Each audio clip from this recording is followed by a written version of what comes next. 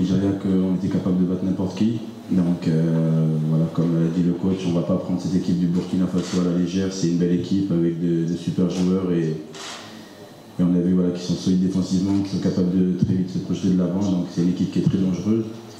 Et comme je l'ai dit maintenant, bon, on se concentre sur nous-mêmes, on regarde pas l'adversaire, peu importe qui on aura en face demain et si on arrive à gagner Inch'Allah en demi ou en finale. Si on produit le football qu'on est capable de produire, qu'on fait les efforts qu'on est capable de faire, je pense qu'on est capable d'aller très loin. On l'a montré, on l'a démontré à plusieurs reprises contre des, grandes nations du football mondial.